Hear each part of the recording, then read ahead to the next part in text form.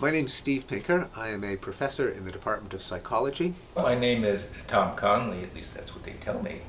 My name is, that was the name that was given to me. My name is Lorraine Sterritt. I'm Dean for Administration here in Harvard College. I uh, am a keeper of dogs, as you can see, and also a co-master at the Kirkland House, where uh, uh, we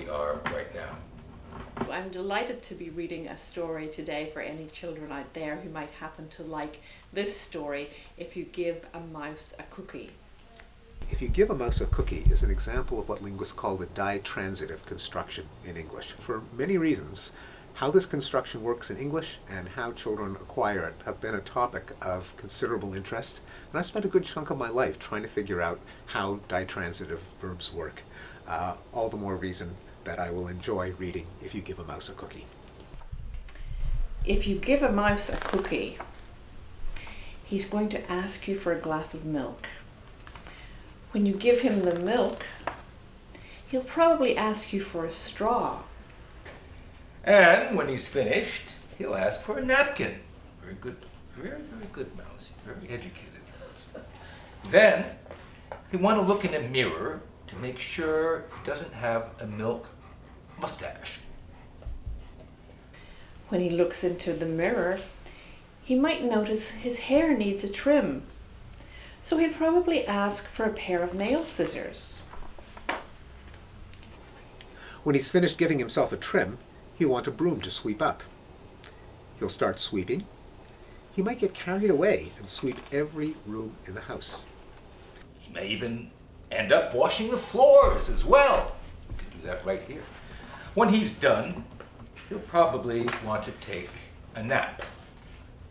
You'll have to fix up a little box for him with a blanket and a pillow.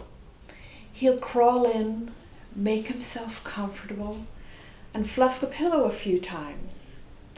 He'll probably ask you to read him a story. So you'll read to him from one of your books, and he'll ask to see the pictures. When he looks at the pictures, he'll get so excited he'll want to draw one of his own, and so he'll ask for paper and crayons. He'll draw a picture. When the picture is finished, he'll want to sign his name with a pen. Then he'll want to hang his picture on your refrigerator, which means he'll need scotch tape.